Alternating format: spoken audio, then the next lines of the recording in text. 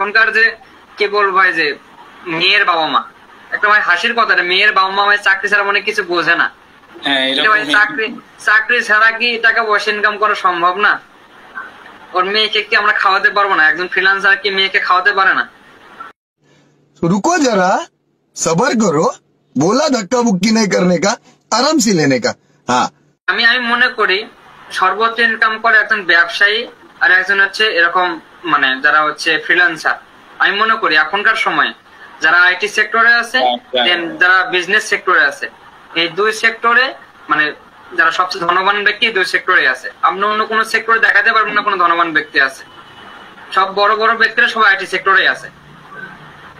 তো এই দিক থেকে মনে করি যে চাকরি ভাই চাকরি তো এখন আমার কাছে মনে হয় যে কি বলব এটা বেশি বেশি বলা হয়ে যাবে। তা করে না বলি। মধ্যে একটা একটা মজার ঘটনা আমি আপনাকে বলি।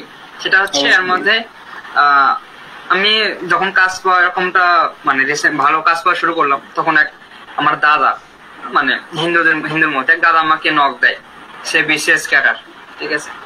তো বলতেছিল যে তিনি আবার আমার তিনি রুয়েট থেকে পড়াশোনা করছে আমার এক দাদাও রুয়েট থেকে পড়াশোনা করছিল উনি এখন রূপপুর যে পারমাণবিক বিদ্যুৎ কেন্দ্র আছে ওখানে জব করে।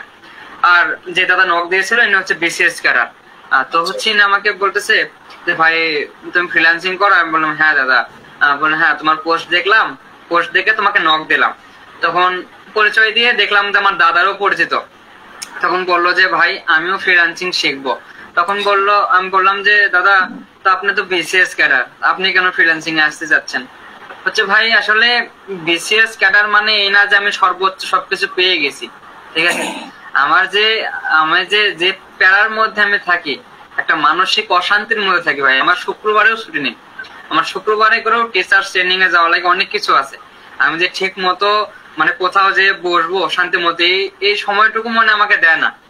আমার নিজের ইচ্ছা মতো কোনো কিছু আমি করতে পারি না।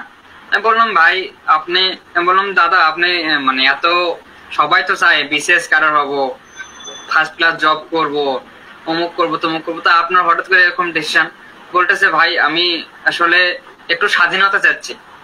যদি তুমি আমাকে একটু হেল্প করতা।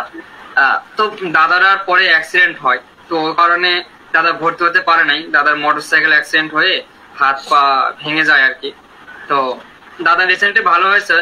আপনার নিশ্চয়ই অ্যাড হবে সামনে ঠিক আছে? আচ্ছা, একজন। বিশেষ ক্যাডার অ্যাড হবে সামনে আপনার ইয়েতে।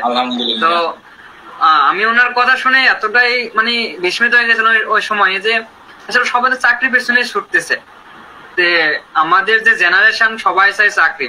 আর এখনকার যে কি বলব ভাই যে মেয়ের বাবা মা একটা ভাই হাসির কথা মেয়ের বাবা মা চাকরি ছাড়া মনে কিছু বোঝে না। হ্যাঁ চাকরি চাকরি ছাড়া কি টাকা পয়সা ইনকাম করা সম্ভব না? ওর মেয়েকে কি আমরা খাওয়াতে পারব না? একজন ফ্রিল্যান্সার কি মেয়েকে খাওয়াতে পারে না? সর্বোচ্চ যদি আমি আমি মনে করি সর্বোচ্চ ইনকাম করে একজন ব্যবসায়ী আর একজন হচ্ছে এরকম মানে যারা হচ্ছে ফ্রিল্যান্সার আমি মনে করি এখনকার সময়ে যারা আইটি সেক্টরে আছে। দেন যারা বিজনেস সেক্টরে আছে এই দুই সেক্টরে মানে যারা সবচেয়ে ধনবান ব্যক্তি দুই সেক্টরে আছে। আপনি অন্য কোনো সেক্টরে দেখাতে পারবেন না কোনো ধনবান ব্যক্তি আছে।